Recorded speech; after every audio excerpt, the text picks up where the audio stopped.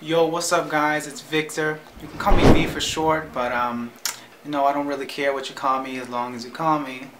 So Allan's not here today because he has some other stuff he had to go to. So he told me if I can make a video for you guys today. So here I am. I'm gonna just make a little video for you guys. Today I'm gonna talk about getting the ladies.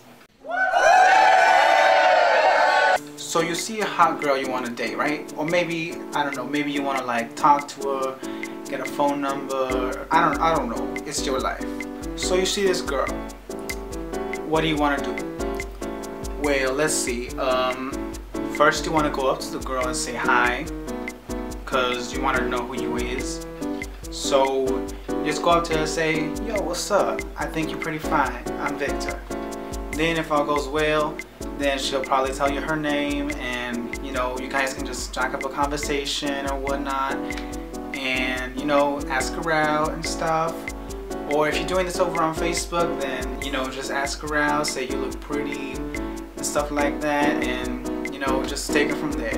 Now what you want to do if you want to hook up with this chick?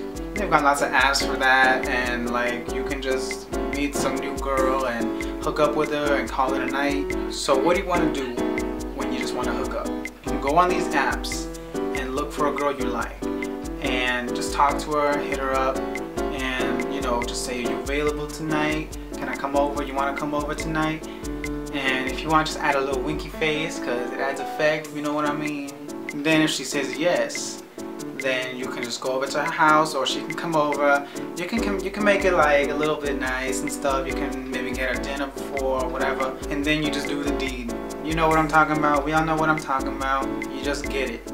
Most importantly, the only thing you need to remember throughout all this is to just be yourself because no bitch want to go out with a guy that is fake and stuff like that. He just thinks he's a player or whatever. If you ain't true to yourself, then you ain't gonna find nobody. Alright, that's it for this week's video. So if you guys like it, press that like button and stuff. And I don't know what else shit he does. He just told me to make a video. I'm not really sure what you do here. And until next time, friends, stay true to yourself. Peace out.